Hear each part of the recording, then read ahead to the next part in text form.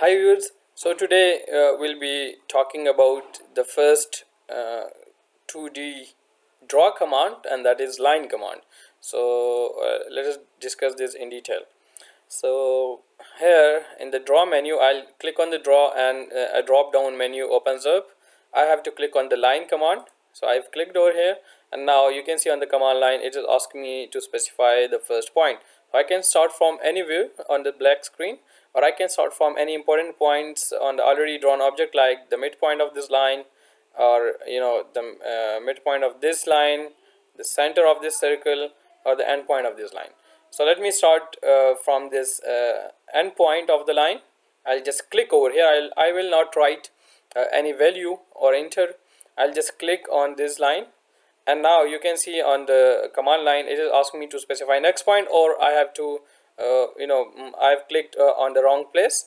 So I have to undo this uh, um, this step. So if if I've uh, clicked on the wrong place I'll just type u enter.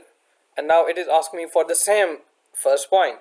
So I'll click over here. Let me uh, click over here. And then uh, you know you can you can see the tracking can be performed in the x direction. So let me give it a value of 100 enter and you know in the x direction uh, a line of 100 mm length has been drawn.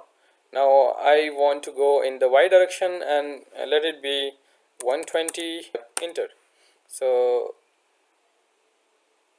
now let's see if we want to draw a line of 50 mm and we know that this line is 100 mm and uh, we want to draw a, a, a line of 50 mm so I'll just track the midpoint and here you can see when I move my cursor in the negative y direction I can get various important angles and now you can see at an intersection can be uh, seen on the screen which shows that uh, uh, because we have selected intersection and midpoint etc important points on the O-track settings. So here I'll just click and you know uh, a line of 50 mm has been drawn.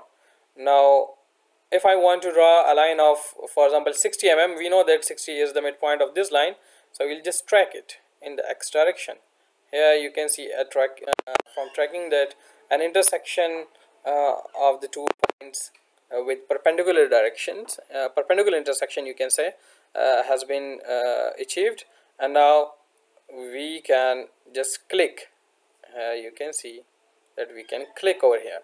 So let me click over here and now you can see if, if you want to undo this step we'll just type u enter.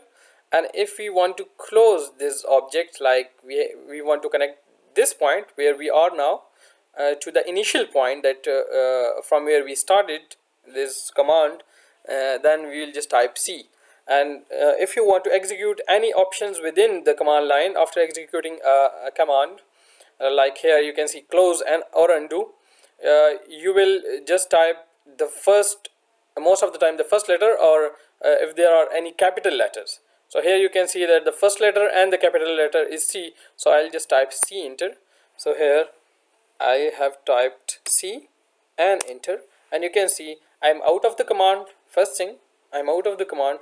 And then uh, you can see that uh, from that point uh, a line has been drawn to the initial point and uh, this object is now closed so this was all about the line command. Uh, let me draw again uh, like line. Let me click over here over here over here. And then if you want to close this object now there is a close option. So you'll just type C enter. And you can see a triangle has been uh, formed. So this was all about the line command.